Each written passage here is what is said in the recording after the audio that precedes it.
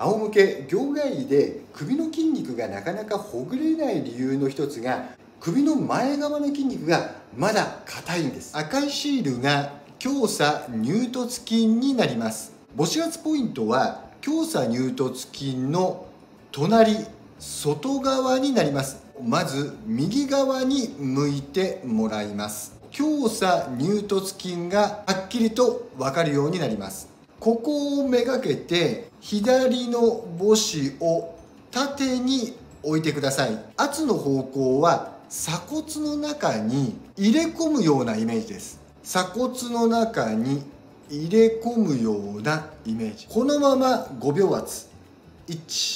12345でゆっくりと戻します。右手の母子を縦にして肘の関節のこの赤いシールの部分ですね。縦に置いてください。軽く押しながら肘を曲げ伸ばしします。曲げて伸ばすを1回として5回繰り返してください。1 2これぐらいの速さで十分です。左手でお客様の手首を下から添えながら右手は先ほどと同じように母子を縦にして軽く押します。母子で軽く手首を添えながらこのまま左右にひねってください。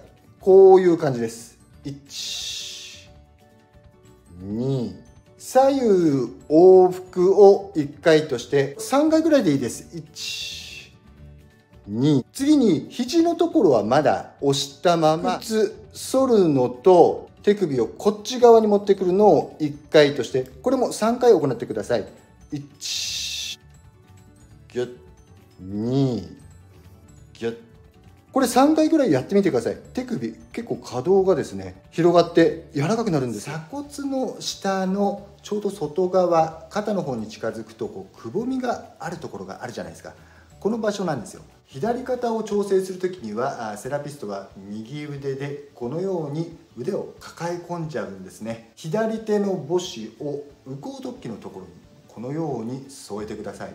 軽く圧を入れながら腕を円を描くようにして大きく回していきます。この時のポイントなのですが腕を結構大きく回していただきたいんですね。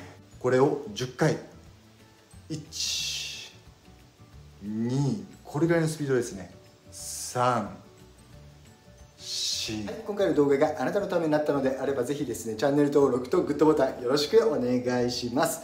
はい今回は以上になります。次回またお会いしましょう。では失礼します。